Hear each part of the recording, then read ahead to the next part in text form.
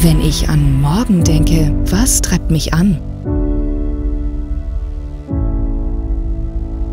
Wir haben unseren Status quo in Frage gestellt, um eine neue Bayern LB zu erschaffen. Eine Bayern LB, die sich auf das fokussiert, was Kunden in Zukunft brauchen. Die Welt verändert sich. Wir haben für uns eine Antwort gefunden, wie wir gemeinsam mit Leistungswillen unseren Kunden noch bessere Finanzlösungen bieten. Wenn ich an morgen denke, was fasziniert mich? Besonders, dass wir von einer Universalbank zu einer fokussierten Spezialbank geworden sind, die mit tiefer Branchenexpertise für ihre Kunden da ist. Ich sehe eine stabile und finanzstarke Bank, die ihren Platz gefunden hat, national wie international.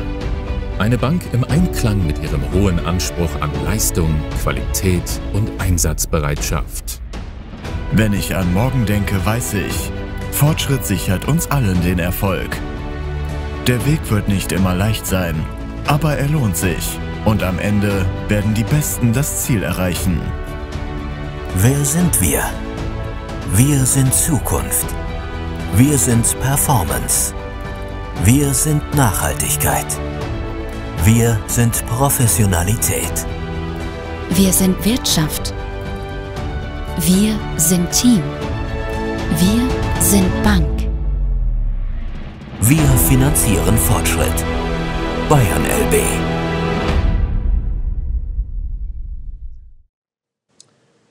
Ja, ein herzliches Grüß Gott aus München. Willkommen zum heutigen virtuellen Corporate Talk. Mein Name ist Christoph Fischer. Ich bin Bereichsleiter für Energie und Mobilität hier bei der Bayerischen Landesbank und ich begrüße Sie sehr herzlich. Ich begrüße sehr herzlich unsere Kunden, die heute die Zeit gefunden haben, uns zumindest virtuell ähm, zu begleiten. Ich begrüße unsere Geschäftspartner und ich begrüße natürlich auch sehr herzlich unseren teilnehmenden Referenten.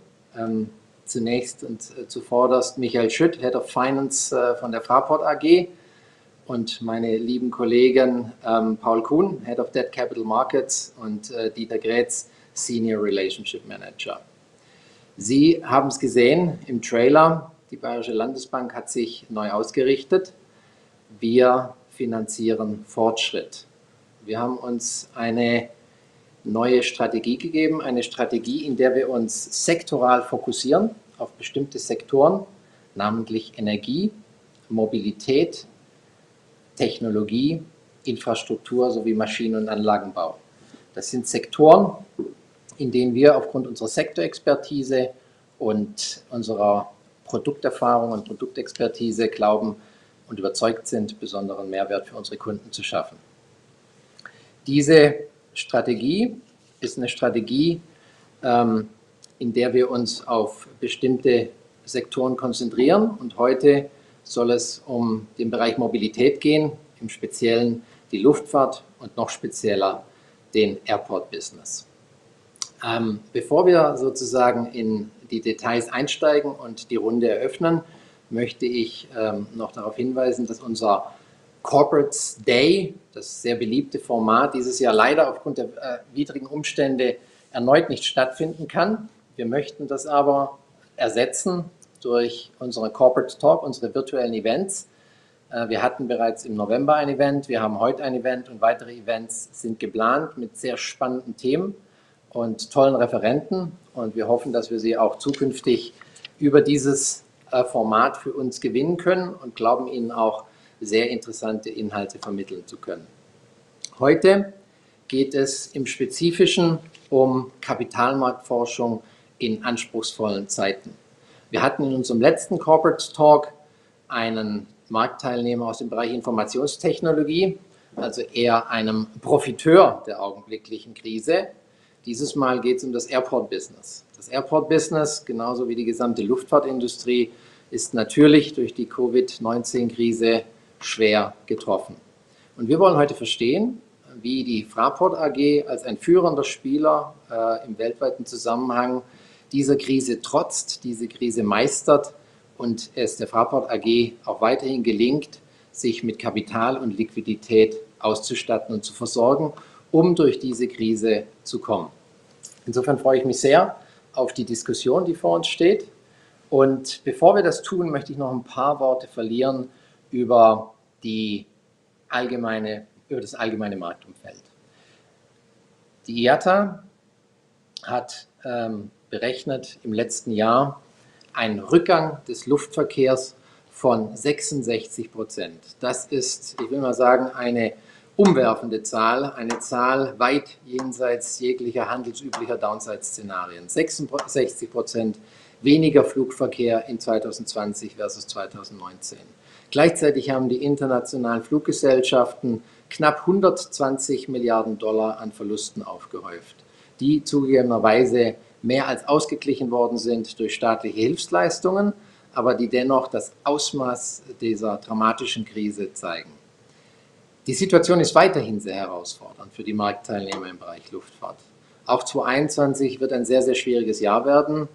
Die IATA sagt voraus, dass auch dieses Jahr der Luftverkehr voraussichtlich global gesehen nicht mehr als 40 Prozent des Niveaus von 2019 erreichen wird. Und auch dieses Jahr soll es bis zu 75 oder mindestens 75 Milliarden Verluste bei den Fluggesellschaften geben.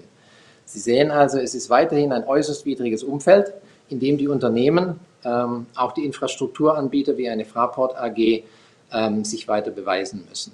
Gleichzeitig gibt es äh, Grund zur Hoffnung.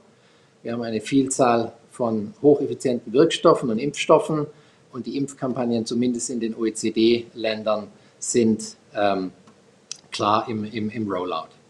Dementsprechend gilt es auch, sich zu positionieren für die Zeit danach. Und auch das soll heute ein Gesprächsgegenstand sein. Wir sehen bereits in Asien, äh, dass der Flugverkehr wieder deutlich zugenommen hat. Ähm, das wird sich jetzt auch äh, relativ kurzfristig in den Vereinigten Staaten äh, fortsetzen und auch Europa wird nachziehen. Die Erholung des Flugverkehrs äh, nimmt erwartungsgemäß zunächst, bezieht sich erwartungsgemäß zunächst auf den privaten Flugverkehr, Friends and Family sowie touristische Reisen. Eine der großen Fragen, die sich stellt, ist natürlich der Geschäftsreiseverkehr. Hier ist die Frage, inwieweit Geschäftsreisende zukünftig noch ins Flugzeug steigen werden. Das werden sie sicherlich tun. Die Frage ist der Umfang wenn meine Zahlen mich nicht täuschen, ist auch für den Flughafen Frankfurt dies ein sehr, sehr bedeutendes Segment. Vor der Krise 70 Millionen Passagiere, davon 20 Millionen Geschäftsreisende. Insofern auch hier äh, eine wichtige Frage der Positionierung ähm, eines Marktteilnehmers wie der Fraport AG für die Zeit nach der Krise. Ja, ich glaube, das äh, soll so ein bisschen die, äh, sozusagen das Setting geben für das Gespräch. Ich freue mich außerordentlich jetzt auf die ähm, auf die Teilnahme von Michael Schütt, auf das Gespräch und möchte äh, dann auch übergeben. Bevor ich das tue, noch äh, zwei technische Hinweise. Wir würden uns außerordentlich freuen, ähm, Ihre Fragen auch einzusammeln. Ähm, hierzu verwenden Sie bitte äh, den Link Eine Frage stellen, den Sie sehen sollten. Wir sammeln die Fragen während des Livestreams ein und werden versuchen, zumindest eine Auswahl der Fragen am Ende zu beantworten. Ähm, sollten Fragen offen bleiben, werden wir das gerne auch im Nachgang versuchen zu beantworten.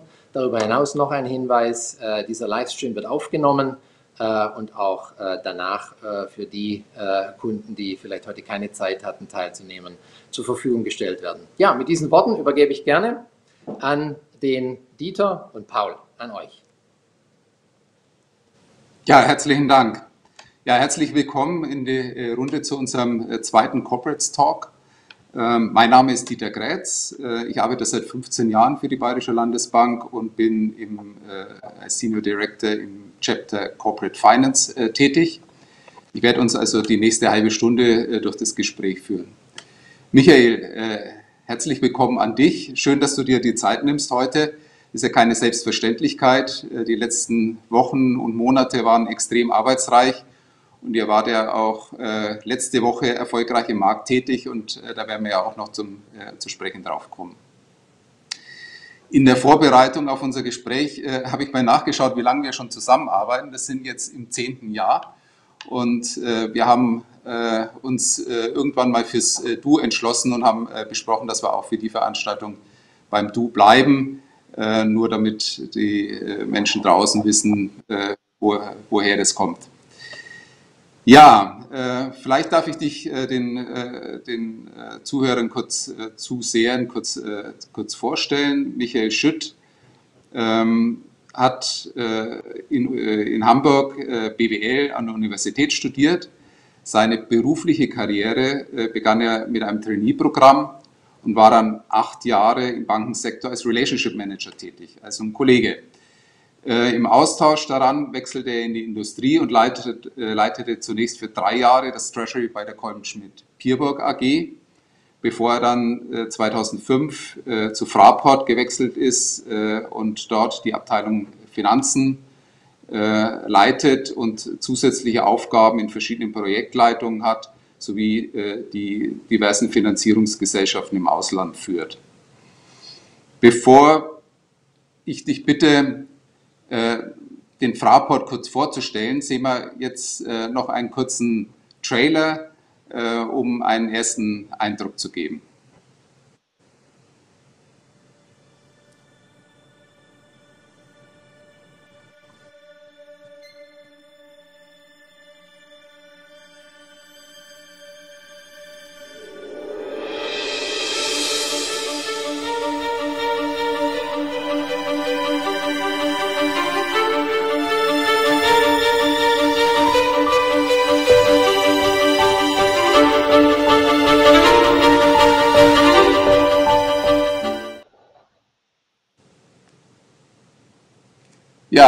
Michael.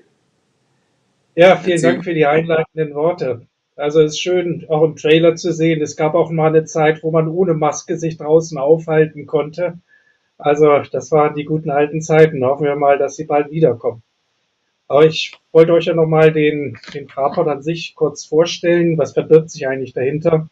Also Flugverkehr gibt es hier in Frankfurt seit 1924. Also wir haben bald 100-jähriges Jubiläum und es werden hoffentlich noch ganz viele Jahre dazukommen. Ähm, was viele vielleicht nicht wissen, wir sind nicht nur in Frankfurt aktiv, sondern an über 30 Standorten weltweit. Also von Ost nach West. Wir sind in Xi'an zum Beispiel, das ist dort, wo die Terrakotta-Armee steht. Wir sind in Bulgarien, Rana Burgas. Wir sind in Antalya mit 50 Prozent. Uns gehören 14 griechische Flughäfen.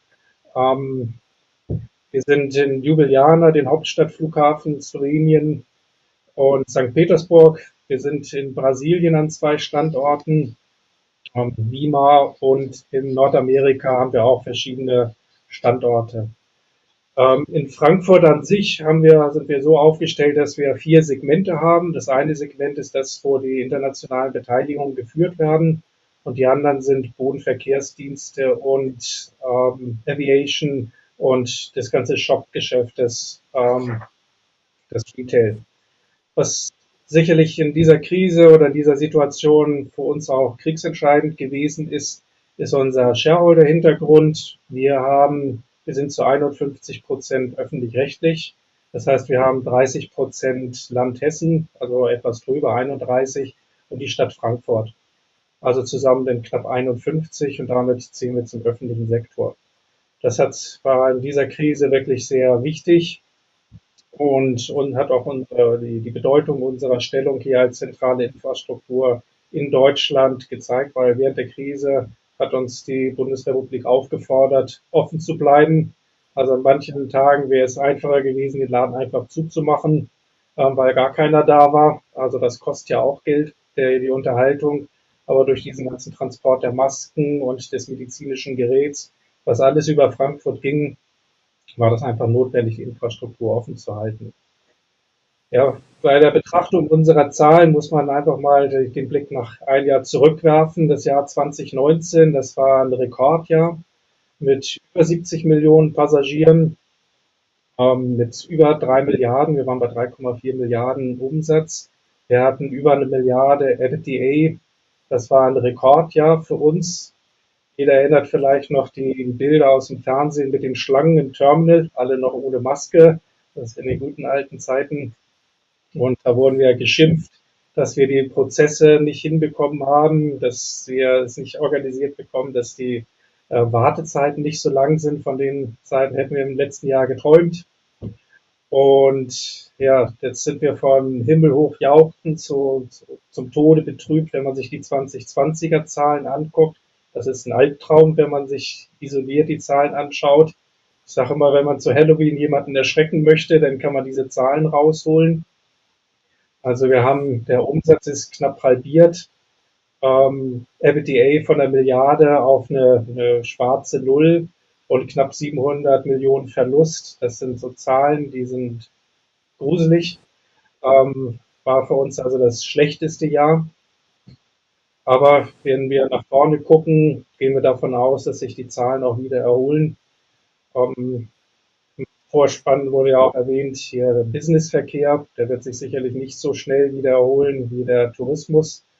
Ähm, wir glauben, dass der etwas schneller wiederkommen wird, weil egal wie man spricht, egal wo man hinhört, alle sind einfach nur müde und genervt vom Lockdown, vom Homeschooling und eigentlich wollen alle nur noch raus.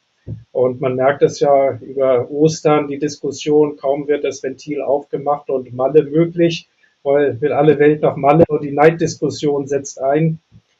Ähm, daran kann man schon ablesen, viele Leute wollen verreisen und wir gehen auch davon aus, dass es auch wieder kommen wird, weil letztendlich die Megatrends, an die wir fest glauben, die auch Teil unserer Zukunftsstrategie sind, die ganze Globalisierung, der ethnische Verkehr, ähm, all das ist ja ungebrochen. Die Menschen, auch das, der Wunsch, das Bedürfnis zu reisen, neue Kulturen kennenzulernen, das wurde jetzt nur mal kurze Zeit äh, auf Pause gestellt, aber die, der Trend und der Wunsch danach ist ja unverändert da. Ähm, ja, so viel zu, zu Frankfurt. Noch World in a Nutshell. Fehlt noch irgendwas, Dieter? Oder? Nee, steigen wir, steigen wir äh, ruhig in die Fragen ein. Ne? Du hast es ja angesprochen, ähm, ihr seid äh, international tätig, unter anderem in China. Wenn ich jetzt mal äh, auf März äh, letzten Jahres oder Februar, März letzten Jahres zu, äh, zurückschaut, hab, hattet ihr eine Ahnung, wart ihr vorbereitet äh, auf das, was da kommt? Also ich habe vielfach in der Zeitung gelesen, dass einige ähm, Indus, also Industrieunternehmen mit Werken in China, die konnten davon profitieren. Da hat es einen regen Austausch gegeben, was passiert vor Ort, wie sind die Infektionszahlen, wie muss man sich positionieren und was bedeutet das für die Produktion an sich. Das, das war bei uns nicht der Fall. Also wir haben dort in, in Xi'an also eine Beteiligung von knapp unter 25 Prozent. Und wir haben da einen Vertreter, der da regelmäßig zu den Board-Meetings und zu den Sitzungen ist. Ähm, aber da findet jetzt nicht dieser Austausch statt, der innerhalb eines Unternehmens mit, also mit einem Werk vor Ort stattfindet. Das war bei uns nicht der Fall. Das, was wir gemacht haben, wir gucken eher auf die Verkehrszahlen. Und ähm, wir haben dann gesehen, dass der Asienverkehr in der zweiten Märzhälfte anfing zu schwächeln. Also bis dato konnte sich ja niemand was unter Covid-19 vorstellen. Das, was es in der Vergangenheit immer mal gab, also jeder erinnert sich vielleicht noch an Vogelgrippe und ein SARS-Virus, das gab es ja alles schon. Das ist ja nichts Neues in dem Sinne. Das ist mhm. nur, der Unterschied ist nur, dass es damals lokale Effekte geblieben sind. Also ich bin jetzt kein Facharzt auf dem Gebiet. Warum es damals nicht schon zu sowas gekommen ist, zu einer Pandemie, kann ich jetzt nicht beurteilen. Aber ich gehe mal davon aus, dass allen Teilen die, die Hoffnung da war, dass es einfach nur ein weiterer Virus ist, der irgendwo in Fernost sich abspielt, aber von dem Rest, der Rest der Welt nichts mitbekommt. Insofern haben wir das gesehen, dass die Zahlen runtergingen, aber irgendwann sind wir dann auch losgelaufen. Kommen wir gleich noch zu sprechen darauf. Äh, lass uns vielleicht auch äh, noch mal kurz beschreiben zu eurem Geschäftsmodell. Du hast es ja schon angerissen, was, äh, was da alles drin ist. Ähm, wo wart ihr besonders betroffen? Welche Länder waren besonders schlimm? Und vor allen Dingen wichtig, gibt es Hoffnungsschimmer? Ähm, also wir haben ja ein, ein Airport-Portfolio und die Pandemie ist ja weltweit ähm, hat er weltweit eingeschlagen. Das heißt, kein Airport dieser Welt kann für sich in Anspruch nehmen zu sagen, nochmal gerade gut gegangen, ich bin mit dem blauen Auge davongekommen. Das ist nicht passiert. Mhm. Also global, weltweit hat jeder Airport geblutet. Also das war bei uns nicht anders. Also bei uns sind natürlich alle Geschäfte oder alle Geschäftsfelder davon, ich komme gleich zu den Ausnahmen, davon eins zu eins betroffen gewesen. Und die, die darunter nicht ganz so gelitten haben, das war hatte es ja eingangs schon neben einem Beisatz erwähnt, war die Fracht, die Logistik. Für die war das mhm. Ganze natürlich eine Sonderkonjunktur. Also, und das war von daher äh, interessant zu sehen, dass die gesamten Frachtkapazitäten gar nicht ausgereicht haben. Es gab gar nicht genügend Frachtmaschinen, ähm, die darauf ausgerichtet waren, die, die notwendigen Maschinen, die maschinellen Geräte zu transportieren. Was viele vielleicht nicht wissen, ist, dass ähm, die meiste Fracht wird gar nicht über die Frachtmaschinen transportiert, sondern in den Bellies, also in diesen Frachtcompartments von Passagiermaschinen. Das macht ja die Attraktivität von Frankfurt aus. Wir sind ja im Cargo-Bereich europaweit die Nummer eins. Und insofern haben wir hier eine riesen Frachtlogistik. Das hat uns geholfen und das stärkt auch unseren Standort heute und insbesondere auch für die Zukunft, dass alle Airlines sich hier im Moment in Frankfurt konzentrieren, weil sie ähm, Fracht transportieren können und auch beiläufig noch ein paar Passagiere mitnehmen können. Also die Frachtraten sind durch die Decke gegangen und das trägt sich allein schon durch die Frachtraten und die Passagiere bringen doch ein bisschen Sahne drauf mit. Ähm, und die Beratungsaufträge, die sind auch positiv weitergelaufen. Also wenn man jetzt hier im Ausland an irgendwelchen Standorten Beratungsleistung gebracht hat. Aber beide Segmente an sich waren natürlich bei Weitem nicht ausreichend, um die gesamten Kosten hier am Standort abzudecken. Ja, wenn wir jetzt nochmal aufs erste Quartal 2020 äh, schauen und uns das in Erinnerung rufen, wie seid ihr da kurzfristig dann im, im März, April damit umgegangen? Also wir haben ja erkannt, dass die, die Verkehre runtergegangen sind und haben festgestellt, ähm, Covid-19 ist nicht wie, wie SARS, sondern hier droht wirklich was Ernstes. Und wir haben sofort gesehen, wir werden hier unmittelbar und direkt davon betroffen sein. Und das Einzige, was in dieser Situation hilft, ist Cash. Also Liquidität. Besser mehr als weniger. Ähm, wir haben schon in der Vergangenheit immer eine, sehr viel Wert auf ähm, eine hohe Liquiditätsreserve ähm, gelegt. Also wir sind mit knapp 1,7 Milliarden in die Krise gegangen. Ähm, das war knapp die, die Hälfte unseres Umsatzes, nur um mal eine Relation zu nennen. Wenn man sich unseren Systempartner anschaut, der hat einen anderen Umsatz, aber ist mit deutlich weniger Liquidität in die Krise gegangen. Und gut, wir haben uns jetzt unterschiedlich positioniert und andere Lösungen gefunden. Und uns ist es bisher noch gelungen, alleine auf eigenen Füßen sehr gut durch die Krise zu kommen. So, das heißt also, die, wir hatten einen sehr guten Startpunkt mit der Liquiditätsreserve, die wir hatten und haben uns einen Plan gemacht wo sehen wir die weiteren Potenziale, wo können wir noch weitere Liquidität holen. Und die haben wir im Verlaufe der Zeit einfach wirklich sklavisch abgearbeitet. Sehr gut. Was hat sich dann in den letzten Monaten verändert, jetzt von dieser ersten Schreck, äh, von dem ersten Schreck und den ersten Maßnahmen ähm, welche Strukturen haben euch äh, dabei geholfen, die, diese äh, Themen, äh, die Strukturierung auf, auf der Finanzierungsseite vorzunehmen? Also wir sind von unserer DNA her langfristige Infrastruktur und unsere, von unserer Philosophie her, also manche mögen vielleicht sagen Hausbacken oder hemdsärmelig, down to earth. Also andersrum, wir sind nie den letzten Modetrends hinterhergejagt. Also es gab ja durchaus Phasen, wo das en vogue war, sich hoch zu leveragen, ähm, eine Sonderdividende zu machen und sich von dem, vom Kapitalmarkt feiern zu lassen.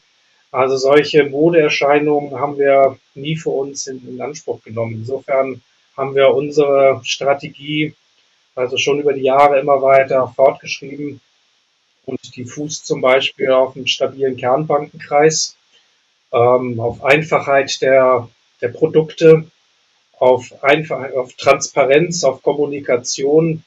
Als die Krise anfing und ähm, klar war, was das letztendlich auch für uns als Kreditnehmer bedeutet, da brauchte ich gar nicht lange zu überlegen, was bedeutet das eigentlich für unsere Kreditverträge oder wo muss ich denn da genau hingucken. ähm, weil es ist uns gelungen, in den letzten Jahren unsere Kreditverträge zu standardisieren. Das heißt, die relevanten Klauseln, es gibt keine Financial Covenants, sind pari passu negative pledge, die sind standardisiert, die sind überall gleich. Insofern war es klar, also dass an der Stelle gar keine Gefahr droht und das, also das rettet einen dann den Hintern wollte ich gerade sagen. Also das, das schafft für Erleichterung, weil manche Themen, wo man erstmal so eine Kernarbeit machen muss und erstmal in die Verträge einsteigt, um mal zu gucken und zu analysieren, wo könnten eigentlich Probleme? Gibt es hier jemanden, der jetzt vielleicht eine, eine Mac-Clause ziehen kann oder sowas? Ähm, die haben wir alle ausgeschlossen. Also insofern konnten wir uns da wirklich auf die Arbeit konzentrieren und unseren Job machen. Also das war schon sehr hilfreich.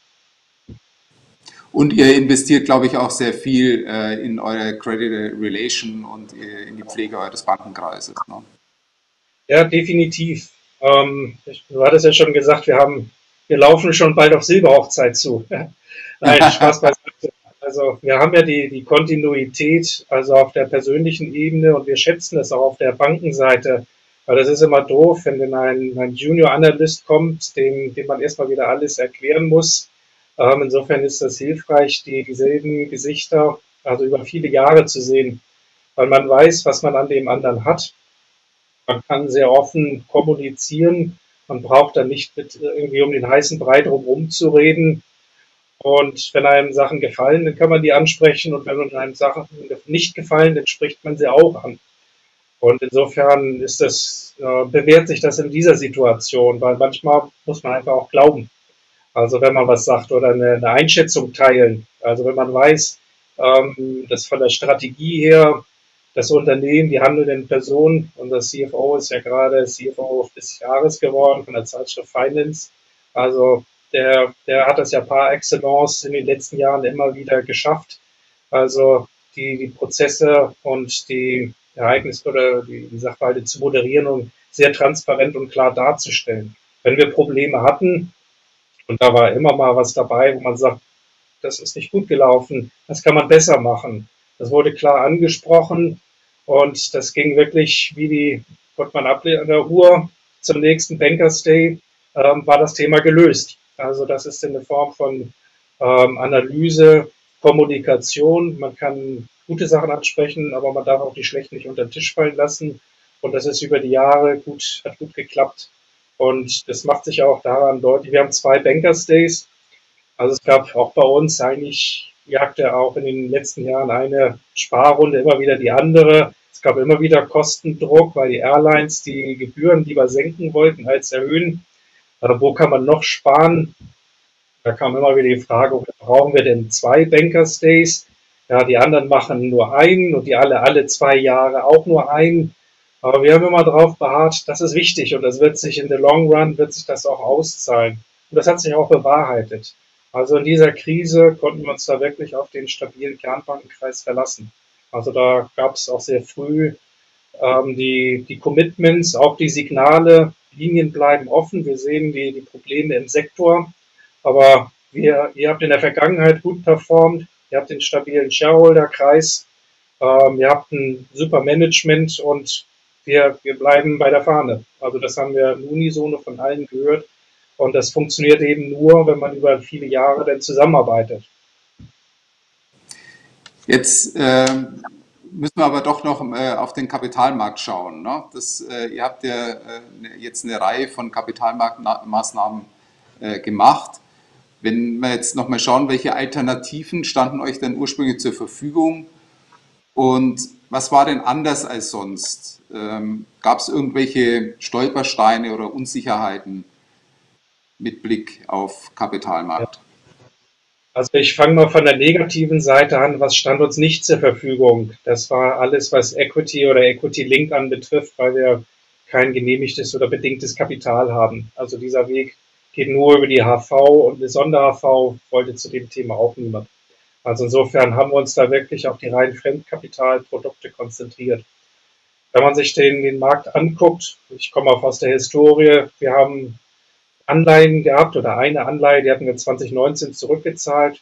Eigentlich war unser stärkster Footprint im Schuldscheinsektor, ähm, bilateral und bei den Infrastrukturfinanzierungen, bei den öffentlichen Förderbanken. Das war eigentlich so die grundsätzlich die Klaviatur, auf der wir bisher gespielt hatten. Und in den letzten Monaten haben wir erkannt, der, der Weg auf dieser, auf dem Regler äh, zum, rüber zum Eigenkapital funktioniert nicht. Der ist arretiert. Also haben wir uns dann überlegt, dann nutzen wir die Bandbreite dessen aus, was geht. Das eine ist das Commercial Paper Programm. Ähm, das haben wir im letzten Quartal des letzten Jahres über 500 Millionen auf den Weg gebracht. Da seid ihr als, als Dealer mit im, im Panel. Ähm, Synloan hatten wir überlegt als Alternative, ähm, haben wir für uns zumindest erstmal entschieden, dass wir das zurückstellen, weil das Marktumfeld ist letztendlich auch nicht so danach. Also wir wollten nicht ähm, die, die bestehenden Banken jetzt zum Beispiel in den Synloan reinrollen, weil das hätte uns jetzt vom Volumen her nichts gebracht. Also und jetzt dann über die Dörfer zu ziehen und Banken anzusprechen, mit denen man sonst in den letzten Jahren nicht gearbeitet hat, wäre eine Variante gewesen, aber fanden wir jetzt nicht in dem Moment den, den richtigen Approach. Also insofern haben wir uns darauf konzentriert, ähm, die anderen beiden Instrumente, Schuldschein und gerade eben auch die Anleihe denn ins Visier zu nehmen und an dem Team zu arbeiten. Gab es da besondere Hindernisse oder ähm, was euch da hat? Also das, ähm, was wir natürlich festgestellt haben, ist der, dass der Schuldscheinmarkt, ich glaube, wir waren im, im März einer der letzten, der noch mit einem kleinen Schuldschein, den hatten wir schon vorher auf den Weg gebracht. Ähm, und dann poppte oder kam diese die Covid-19-Krise immer stärker in den Vordergrund. Wir haben sie gerade noch so über die Ziellinie getragen. Ich weiß gar nicht, ob nach uns noch jemand gekommen ist. Danach hat sich der Sparkassensektor sehr viel stärker auf die Stabilisierung ihrer eigenen Kunden gekümmert. Es mhm. war, ging nicht nur um den Aviation-Transportsektor, sondern Schuldscheinmarkt war insgesamt schwierig. Ähm, das war untypisch, weil selbst während der Lehman Crisis ähm, 2009, als alle anderen Märkte nicht funktionierten, war der Markt offen. Aber das stellte für uns auch kein Problem dar. Also wir hatten ja die Anleihe, also haben uns dann darauf konzentriert und die Vorbereitung dazu in die Wege geleitet. Und die hat auch sehr gut funktioniert. Wir haben dann im August letzten Jahres äh, insgesamt 800 Millionen gemacht. Für eine unrated Adresse in zwei Tranchen war das schon ein beachtliches Ergebnis aus dem Sprung, das zu holen. Ähm, das ist gut gelaufen, also trotz ähm, dieser Themen, die wir da gerade im ähm, Logistik, im Aviation-Sektor sehen. Ähm, die, die einzigen Diskussionen, die wir hatten, waren äh, immer wieder ums Rating. Uns ist natürlich klar, dass der Kapitalmarkt ähm, typischerweise doch Ratings sieht. Also wir beobachten das natürlich auch. Früher konnten wir noch sagen, Mensch, guckt euch doch mal eine Adidas an und oder eine SAP oder also aber mittlerweile wird es einsam um uns herum. Also wir sind da nicht blind, das erkennen wir auch. Und wir beobachten das Thema auch weiter.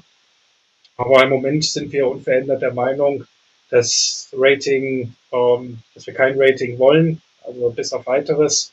Kann sein, dass wir irgendwann den Schalter umlegen. Also von unserer Kapitalmarktausrichtung und Orientierung ist das alles kein Problem. Alle Zahlen sind da. Das ist an uns zu entscheiden, wollen wir oder wollen wir nicht.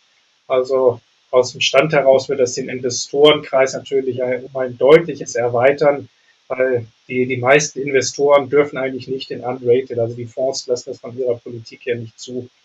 Insofern ist das, sagen wir mal, ein kleiner Stolperstein, aber wenn man es am Ergebnis gerade der letzten Anleihe festmacht, so nach unserem Kenntnisstand war das die viertgrößte unrated mit 1,1 Milliarden ähm, die, die extrem gut gelaufen ist. Wir haben uns dabei auf einen anderen Investorenkreis konzentriert.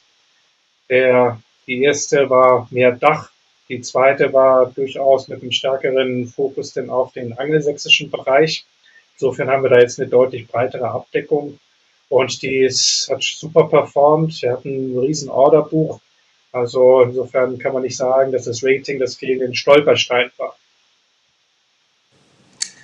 Wenn du jetzt nochmal auf unsere Zusammenarbeit schaust ähm, in den äh, vergangenen Monaten, ähm, welche Unterstützung hast du erfahren? Und wenn wir jetzt mal über den Covid-19-Kontext hinausschauen, Was erwartest du denn von der Bank wie uns äh, zukünftig so in diesem Kontext Nachhaltigkeit, Klimaschutz, Globalisierung? Da habt ihr ja auch ehrgeizige Ziele. Also das, was, was ich, was wir von unserer Seite wirklich sehr gewertschätzt haben, ist wirklich das, das klare Commitment zu uns. Also das war, ähm, ja, wie soll ich sagen, am Anfang wenn man mit so einer Situation neu konfrontiert ist und dann überlegt, was passiert denn da?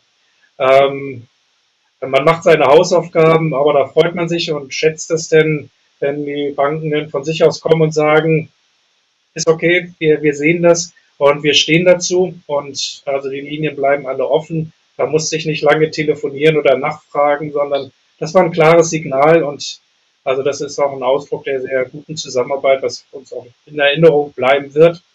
Also wie in guten wie in schlechten Zeiten. Weil ich, ich weiß, damals, es gab ja auch Zeiten, da ging es eurem Haus nicht gut. Das war so zu Lehman-Zeiten mit Webbank und so weiter. Also auch da haben wir immer gesagt, also es gibt mal Zeiten, das ist andersrum. Wir sind nicht die, die jetzt sagen, ihr kriegt keine Anlagen mehr oder sowas, sondern wir sind da weiterhin fair und haben zu unseren Banken gehalten. Wie gesagt, in guten wie in schlechten Zeiten. Und ich denke, das hat sich jetzt auch ähm, ausgezahlt. Also das war wirklich ein starkes Signal, das wir sehr gewertschätzt haben.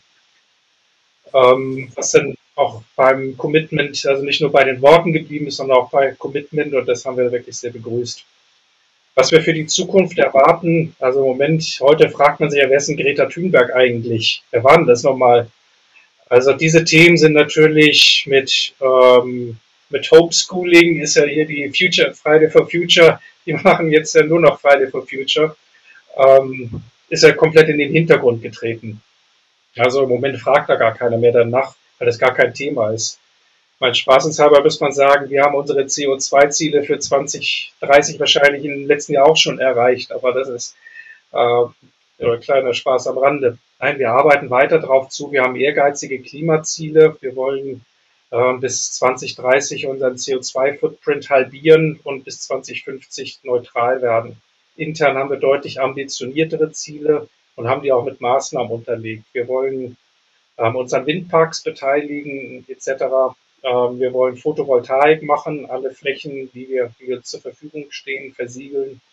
Und in dem Zusammenhang sind wir natürlich auf weiteren Input aus eurem Haus denn dankbar.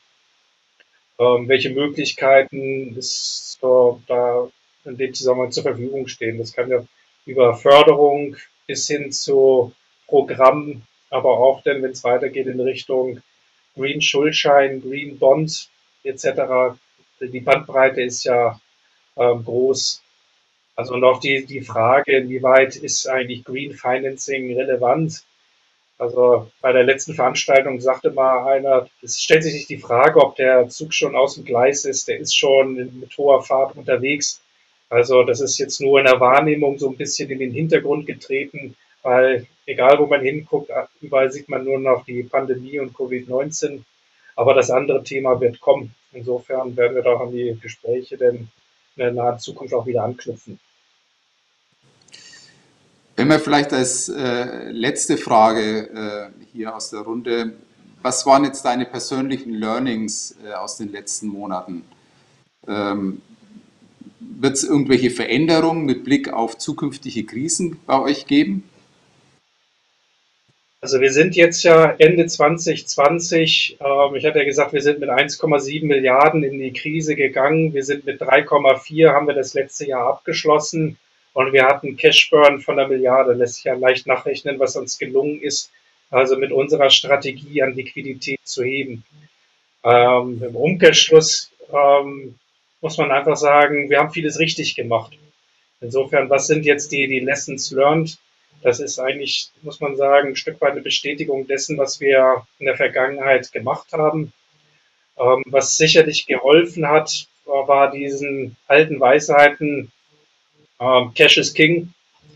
Auch sowas altbackenes wie goldene Bilanzregel, also saubere Tilgungsstrukturen, nicht alles zu kurz finanzieren und vielleicht den, den Zinsaufwand zu optimieren, sondern langfristige Assets auch langfristig zu finanzieren. Und ansonsten die Themen, die wir schon immer beherzigt haben, Diversifizierung, Vermeidung von Abhängigkeiten, Transparenz, Kontinuität. Ähm, das sind Themen, die, die uns wirklich ähm, durch die Krise begleitet haben und ja, Cornerstone des, des Erfolgs am Ende waren, aber jetzt nicht unbedingt neue Werte bedeuten. Also insofern kann man jetzt eigentlich nicht sagen, wir müssen jetzt irgendwas anderes machen. Der Weg ähm, war für, zumindest für uns also der richtige, den wir eingeschlagen haben. Prima. Ja, also es äh, ist ja auch die Bestätigung äh, äh, der Werte, die ihr im Unternehmen habt, dass, dass er da auf dem richtigen Weg ist. An der Stelle würde ich jetzt den Paul Kuhn, unseren Head of Debt Capital Markets, mit dazu nehmen. Paul, ähm, Kapitalmarkt, wichtiges Thema für dich. Wie hat sich denn aus deiner Sicht 2020 dargestellt? Äh, gute Frage und äh, eigentlich schon äh, in, in, vielschichtiger Art und Weise von Michael Schütt sehr, sehr gut beantwortet. Ähm, denn äh, aus dem Leben heraus und mit, mit Beispiel äh, Transaktionen, die realisiert wurden. Und ich glaube, an der Stelle vielleicht nur eine kleine Ergänzung daher. Ähm, was kann man äh, herausstellen? Also die Märkte ist, ist glaube ich, ganz wichtig, mal auseinanderzunehmen, den großen Bondmarkt und den Schuldschein-Darlehensmarkt. Der Schuldschein-Darlehensmarkt hat sich ähm, im Vergleich zum Bondmarkt äh, um ein Drittel reduziert. Also genau das, was, was Fraport hier erfahren hat, äh, dass man einer der letzten war, ähm, dass die Investoren wirklich große Themen mit sich selber auch hatten. Ich komme gleich im, im, im äh, weiterem Detail äh, darauf zu sprechen, wie sich der Markt entwickelt hat. Einfach die Tatsache, die, die einfachen Zahlen, ein Drittel weniger der Bondmarkt dagegen hat sich ähm, von 420 Milliarden auf über 500 Milliarden nach oben hin entwickelt. Ähm, hat äh, ein Rekord ja, wie gesagt, historischer Natur äh, erzielt. Äh, Liquidität war da. Ähm, warum war das so? Ist natürlich äh, eine sehr naheliegende Frage. Und da ist sicherlich die ultra lockere Geldpolitik der, der EZB zu nennen äh, mannigfaltig, aber sicherlich als, äh, als wichtigste Argumente und Zeichen dieser Überliquidität ist das CSPP-Programm, also das, das Corporate Sector, impliziert ja schon, wo, wo das Geld ja hin soll. Ähm, der EZB Corporate Sector Purchase Program mit zwei Milliarden pro Woche allein pro Woche kommen da äh, nach, ist Nachfrage rein. Äh, darüber hinaus natürlich PEP auch nochmal, also dieses Pandemic äh, Emergency Purchase Program, was die grundsätzliche Finanzierung, Liquidität äh, im, im Markt sicherstellt. Das sind ganz, ganz wesentliche Aspekte. Und last but not least sicherlich, äh, dass die Investoren im Bondmarkt ähm, hier auch eine positive Rendite nach wie vor finden. Also viele Investoren, die in der Vergangenheit Sicherheit suchten, haben festgestellt, viele gerade große Corporates, Investment-Grade Corporates sind hier global aufgestellt, sind hier Krisen auch resistent, trotz aller Schwierigkeiten äh, wohingegen auch Länder, ganze, ganze Volkswirtschaften nicht unbedingt so viel besser sind. Und deswegen war dieser Run weg von SSAs, also eben auch öffentliche Hand und, und, und Länder, wo keine positiven Renditen äh, generiert werden konnten, haben viele Investoren dann auf der Corporate-Seite wirklich ihr, ihr Heil gefunden und, und gut investieren können. Also das war mit Sicherheit einer der Hauptgründe für die große Liquidität auf der, auf der Corporate Bond-Seite.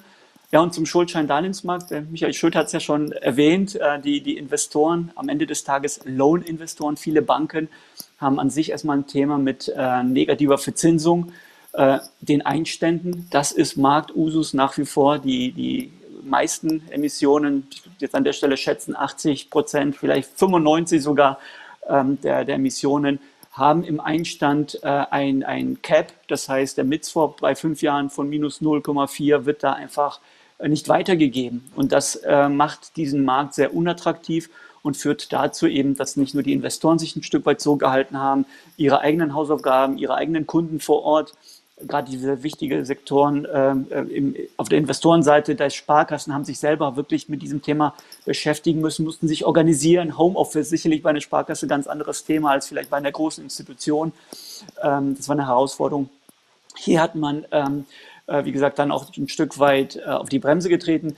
Und dann natürlich die Emittenten. Auch ähm, die typischen Schuldscheindarlehensemittenten haben keine großen Investitionen getätigt, keine M&A-Aktivitäten, haben das Geld zusammengehalten, guten Cashflow eigentlich noch gehabt, sodass da auch der Finanzbedarf bei diesen typischen Schuldscheindarlehensemittenten bei weitem nicht so ausgeprägt war wie bei den großen Corporates, die sagten, ich habe strategisch die Möglichkeit, hier sehr, sehr günstig, sehr lange Geld einzunehmen bei der Liquidität. Also gehe ich raus, mache es. Und das spiegelt sich, wie gesagt, im Rekordjahr äh, über 20 Prozent plus Bond, ein Drittel weniger. Und das, das sind wirklich harte Zahlen für die, die in diesen Märkten dann aktiv sind, wie wir auf der Schuldscheindarlehensseite auch sehr, sehr gut unterwegs sind, zu sehen, dass der Markt zerbröselt sozusagen um ein Drittel. Also doch ein bisschen mehr ergänzt, sorry, aber äh, ich glaube, das, das passt soweit. Ja, aber wie unterscheiden sich jetzt Bond- und Schuldscheinmärkte äh, im Moment? Ähm, unterscheiden, ja, äh, auch das sofort in, in, in aller Kürze, vielleicht einfach nur in einem Satz. Diese Entwicklung aus 2020 setzt sich nahtlos fort, vielleicht sogar verschärft. Ähm, Schuldschein-Darlehensmarkt minus 50 Prozent year to date und wir haben Ende Quartal heute und das zu sehen, ist auch wieder schmerzlich und, und auch unvorstellbar, denn äh, wie gesagt, auf einer neuen Basis von minus 30 Prozent nochmal minus 50 Prozent zu sehen, ist einfach sehr, sehr hart. Äh, Bondmarkt wieder das gleiche, wieder ein neuer Rekord, Quartal äh, 1 2021, äh, wie gesagt, ein Rekordjahr, äh, ein Rekordquartal und ein super Start ins neue Jahr äh, bei, den, bei den Bonds. Ähm, die Unterschiede was produktseitig angeht, Investorenbasis, das bleibt eigentlich Standard zu dem, was es immer war. Ähm, der Schuldschein-Darlehensmarkt eher vorteilhaft für kleinere Beträge, klein nach Kapitalmarktmaßstäben, also 200, 300, 500 Millionen Emissionen kann man hier sehr gut strukturieren, kann mehrere Laufzeiten verbinden, ähm, ähm, also somit Fälligkeit, äh, äh, Thematik rausnehmen für, für den Emittenten in, in drei, vier, fünf, sieben Jahren. Das ist nicht ein Bullet mit 500 Millionen. Eine Fraport kann eine ähm, 800 Millionen Fälligkeit äh, zu einem Zeitpunkt sicherlich stemmen. Ein typisches, normales Corporate oder ein normales Unternehmen wird da nicht so ohne weitere solche Beträge dann in der Refinanzierung äh, in Zukunft auf einen Punkt stemmen können. Also das ist ein Riesenunterschied nach wie vor, dass der Bond, um erfolgreich zu, äh, zu sein, Mindestvolumina, diese Benchmark-Sizes braucht. Fraport, tolles Beispiel. Wir haben hier einen Teil dieser Emission, war ja ein TAP, um auf über 500 Millionen oder auf 500 Millionen zu kommen, in dem Fall über 500 Millionen ein TAP bedeutet, man hat hier eine Mindestliquidität im Sekundärmarkt, was vielen, sehr vielen Investoren sehr wichtig ist. Nur dann kommt man in diverse iBoxes beziehungsweise in, in äh, die Notwendigkeit auf der Investorenseite da auch zu investieren. Das steigert die Nachfrage. Das heißt, nur wenn wirklich große Beträge dort auf einen Schlag emittiert werden, dann macht auch ein Bond Sinn, weil nur dann ist er auch attraktiv. Äh, sicherlich auch noch die anderen äh, Punkte aus der Vergangenheit. Ein Bond hat eine ganz andere Dokumentation, hat 200, 300 Seiten, hat einen ganz anderen Prozess, hat eine andere Visibilität, ähm, Verpflichtungen, der Ad-Hoc-Meldepflichten dergleichen. Ein Unternehmen, was noch nie einen Bond emittiert hat, steht da an der Stelle, bevor es diese Alternative hat, Bond versus Schuldscheindarlehen, wirklich vor einem Riesenberg. Das macht man nicht einfach nur, um 0,5 Basispunkte oder Prozent äh, zu sparen und äh, kann den Bondmarkt ansprechen und die, die große Liquidität hier in Anspruch nehmen, sondern äh, eben muss weiter unverändert den Schuldschein mit den Vorteilen schlanker Doku, äh, wie gesagt, äh, der, der, der, des kontrollierten Prozesses, alles etwas ruhiger und kleiner, äh, für sich dann eben nutzen. Also alte Unterschiede in einem sich weiter verschärfenden äh, globalen Unterschied zwischen den Märkten, in dem einen Überliquidität, in dem anderen ausgeprägte Passivität. Ich gucke immer so ein bisschen nach links, weil mein Bild so ein bisschen nach rechts orientiert ist. Sorry, ich hoffe, das irritiert die Zuhörer, Zuschauer nicht. Aber ich bemühe mich, etwas mehr in die Kamera zu schauen. Michael, ihr wart ja jetzt in den letzten zwölf Monaten zweimal äh, im Bondmarkt tätig, habt fast zwei Milliarden gehoben. Ist der Bond jetzt die Alternative für euch? Ähm, also für den Moment ja. Also so wie der Herr Kuhn ja sagte, wenn, wenn der Schuldscheinmarkt im Moment nicht so offen ist, äh, wie es in der Vergangenheit war, ähm, dann ist das natürlich für uns das Produkt, das wir weiter verfolgen. Also wir können uns damit jetzt etwas Zeit lassen, weil zwei Milliarden innerhalb eines so kurzen Zeitraums, das ist natürlich schon mal ein kräftiger Schluck aus der Pulle. Also wir haben es jetzt geschafft, unsere Liquidität auf über 4 Milliarden zu heben, unsere Reserven, also wir nennen es mal die Firepower, inklusive Linien etc. Also das bringt uns erstmal, selbst wenn wir jetzt hier alle im Finanzbereich ein Sabbatical machen, also da können wir erstmal lange Urlaub machen. zu Hause auf Balkonien wahrscheinlich, wenn das so weitergeht. Ein Spaß beiseite. Also wir könnten also erstmal, bräuchten erstmal lange nichts zu tun ähm, und kommen mit dieser, mit diesem Liquiditätspuffer hin. Aber wenn wir wieder kämen, der, der Markt ist noch nicht offen, dann würden wir sicherlich nochmal in den Bond in die Richtung gucken. Hm. Paul, wenn wir jetzt in die Zukunft schauen, wie siehst du denn die Entwicklung der Kapitalmärkte? Ähm, ja, die Entwicklung beziehungsweise kleiner, kleiner Outlook sozusagen äh, folgt einfach der, der äh, gesamtwirtschaftlichen Lage. Ich glaube, es ist fair to say, wir haben es ist gestern äh, ein Rekord im, im DAX gesehen, äh, beziehungsweise die Tage über 15.000 Punkte. Das, das folgt auch im Kapitalmarkt oder in den Kapitalmärkten, sowohl Bond als auch Schuldschein, äh, diesem Trend. Also Zuversicht ist da, ähm, fortgesetzte Konjunktur, Aufschwung wird erwartet, entsprechend äh, die Hoffnung, dass alles äh, sehr schnell, sobald Covid wirklich weniger ein Thema ist oder, oder auch die Impfung äh, Impfungen äh, äh, Wirk Wirkung zeigen und, und wir ganz andere Prozentsätze in der Bevölkerung als geimpft erachten werden können oder betrachten können.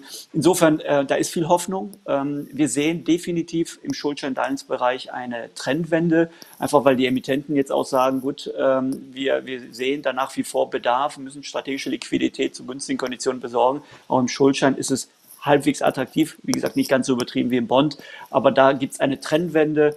Äh, wir haben jetzt auch einiges in der Pipeline, äh, um, um die Investoren an der Stelle, die da sind, die jetzt wirklich auch verstärkt auf uns zukommen, sagen, wann kommt ihr mit der nächsten Emission wieder? Wir haben jetzt Lust und Zeit und Appetit und Hunger. Also das ändert sich von, von der Seite und auch gefühlt auf der Emittentenseite äh, der ein oder andere Anruf mehr, ähm, was, was Interesse signalisiert. Und da äh, sind wir eben jederzeit ähm, dafür, genau dafür da, um, um Unterstützung und Ausblick und Einblick in den Markt zu geben. Bondmarkt, keine Trendwende, es bleibt sehr attraktiv. Wir gehen sogar per Jahresende, vielleicht so ein, so ein kleiner Ausblick jetzt an der Stelle, bei den Volumina nicht auf ein neues Rekordjahr oder schätzen da eher 420, vielleicht 430 Milliarden, trotz sehr, sehr guten Starts. Das heißt etwas weniger. Ähm, in Milliardenbeträgen sicherlich äh, viel weniger als in den äh, letzten Jahren, trotzdem historisch eines der besten Jahre. Liquidität ist da, wird da bleiben. Und beim Schuldschein gehen wir eigentlich von etwa 20 Milliarden unverändert. Also das schon seit über einem halben Jahr. Unsere Einschätzung für 2021 gehen wir davon aus und haben auch letztes Jahr in der zweiten Jahreshälfte nach dem sehr, sehr schwachen Start bereits letztes Jahr äh, einen guten Wiederauftrieb gesehen und das erwarten wir definitiv für dieses Jahr auch, spüren diese sogar zum Teil. Also insofern ähm, keine großen Veränderungen beim Bond, positive Veränderungen beim Schuldschein. Schau ich ein bisschen auf die Zeit. Vielleicht kannst du noch kurz äh, was zu, dem, äh, äh zu äh, unserer grünen Debüt-Benchmark-Anleihe sagen, ähm, äh, die wir selber begeben haben. Äh, grün, the trend. Was würdest du ja. sagen? Ich, ich würde das nicht mehr als Trend bezeichnen. Ich glaube auch, das hat Michael Schöth sehr zutreffend bereits geschrieben. Es ist eher ein Fels in der Brandung. Also der ist da, äh, der ist jetzt vielleicht bei Hochwasser nicht ganz so visibel, aber der ist da, der liegt da und wird auch da liegen bleiben. Ähm, und wir kommen nicht mehr drum herum. Die Frage ist halt nur, wie intensiv äh, werden wir das in Transaktionen einarbeiten? Wird es ein ESG-Linked, was der neueste Trend ist oder der starke Trend?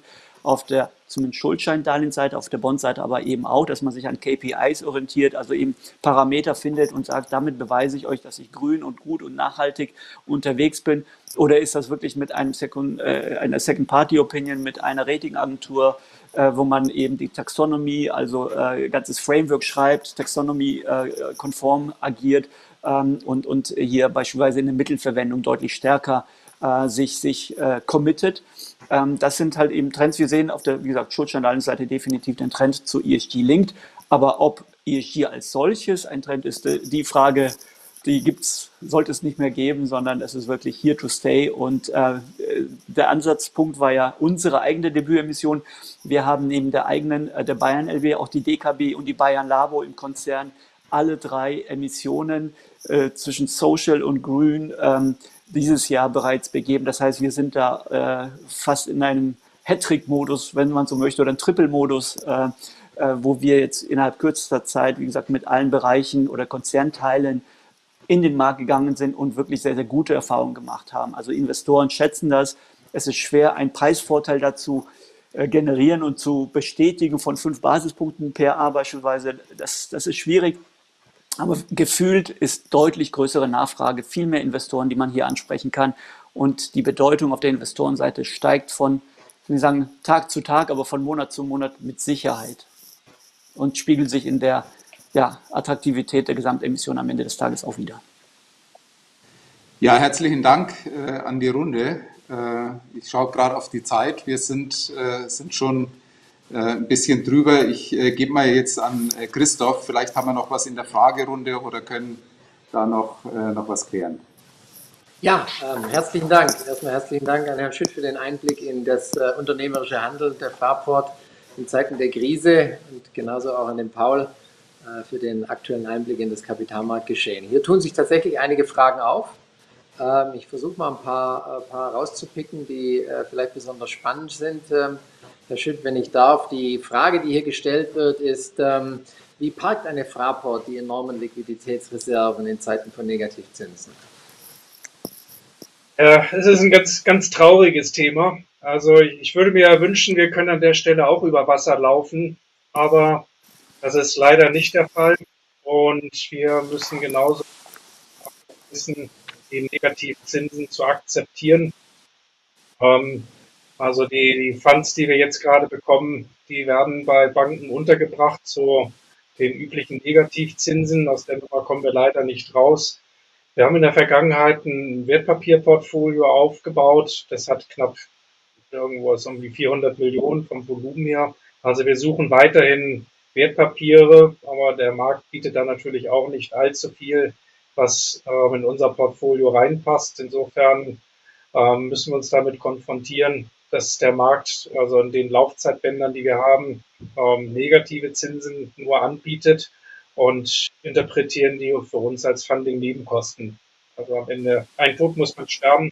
Und wir haben uns politisch entschieden, äh, wir wollen nicht aus Liquiditätsmangel sterben, sondern wir nehmen eher in Kauf, dass der Preis für die Liquiditätshaltung dann eben ein hoher ist dieser Tage. Ja, herzlichen Dank. In der Problematik sind Sie natürlich nicht alleine. Ähm, eine weitere Frage. Sie haben betont, ähm, dass äh, die Fraport bis jetzt bewusst äh, auf ein Rating äh, einer, einer, externen Agentur verzichtet hat. Die Frage hier im Zuhörerkreis war, oder Zuschauerkreis war nochmal, ob denn ein Rating nicht doch einen deutlichen Refi-Spread-Vorteil ergeben würde, der es dann lohnenswert machen sollte. Ähm, die Frage ist durchaus berechtigt und auch richtig. Ähm, in der Vergangenheit waren die, war es eigentlich eine philosophische Diskussion. Also wie hoch ist eigentlich der, der Malus ähm, für das Nichtvorhandensein eines externen Ratings? Und die, die Schätzungen waren immer so bei 0,1, vielleicht 0,2. Also das hat für uns nicht die, die Nachteile aufgewogen, ähm, die wir mit dem Rating in Kauf nehmen. Und die, die Aufschläge jetzt sind aber höher geworden. Also das haben wir sehr wohl wahrgenommen. Also man sieht das ja auch an den äh, im Vergleich zu anderen Unternehmen aus der Branche, ob das äh, in Paris ist oder in Holland, da gucken wir mal hin. Ähm, die finanzieren sich deutlich günstiger, sind von den Kennzahlen natürlich auch besser, aber sie finanzieren sich ähm, doch deutlich günstiger als wir. Insofern ist das ein Thema, was bei uns auf dem Schirm bleibt und was wir fortlaufend beobachten. Aber wir merken, die Einschläge kommen näher und wir müssen uns und werden uns auch damit beschäftigen. Ja, vielen Dank. Da ist der sozusagen Prozess äh, äh, bei Ihnen noch nicht abgeschlossen. Eine letzte Frage erlaube ich mir noch, dann wollen wir auch pünktlich schließen. Ähm, Sie hatten auch betont, dass gerade der öffentlich-rechtliche Hintergrund äh, der Fraport auch in diesen Zeiten natürlich von besonderer Bedeutung war. Ähm, die Frage hier äh, sozusagen im Zuschauerkreis war, wie hat sich denn dieser öffentlich-rechtliche Hintergrund in der Krise in Anführungsstrichen positiv bemerkbar gemacht? Also wir haben in unseren Dokumenten keine Change of Ownership Clause. Also da haben wir immer drauf verzichtet. Wir wollten das nicht. Ähm, sagte mal einer, das ist auch schön, wenn man nicht regelmäßig an die Tanke muss, ähm, um beim Shareholder anzuklopfen. Das war immer unser Ziel, ähm, dass wir ohne irgendwelche Unterstützung durch die oder über die Runden kommen. Also schon immer. So, und ähm, wir haben ja auch beobachtet, wie unser ähm, Aktionär, wie Lufthansa sich verhalten hat. die mussten jetzt ähm, in der Krise durch ein Rettungspaket ähm, gerettet werden. Ähm, das wollen wir nicht. Ähm, bei uns sind sie ja schon investiert, ähm, die Hessen und die Stadt Frankfurt. Also insofern gibt es da, also weiß dass jeder Investor, also sollte mal irgendwas sein, ähm, dann ist die Bereitschaft auf der öffentlichen Seite mit Sicherheit gegeben, weil es macht ja keinen Sinn, die Lufthansa zu retten und uns irgendwie verhungern zu lassen. Also wir sind jetzt weit entfernt davon. Wir haben unsere Hausaufgaben gemacht. Wir haben umfangreiche Einsparungsrunden etc. Wir sind ähm, sehr gut positioniert, wenn es wieder aufwärts geht. Ähm, aber das war einfach ein psychologischer Moment zu wissen, ähm, auch auf der Kapitalmarktseite. Also wenn es mal hart auf hart kommt, dann, dann wird es da sicherlich eine Lösung geben, wie auch immer die aussieht. Aber wie gesagt, wir haben es nicht gebraucht und wir wollten diese Karte auch nicht ziehen. Ja, herzlichen Dank. Dann würde ich sagen, äh, äh, nochmals vielen Dank an euch drei für das spannende Gespräch, für die spannende Unterhaltung. Ähm, ich bin mir sicher, dass es unseren Zuschauern gut gefallen hat. Man sieht es an den Fragen.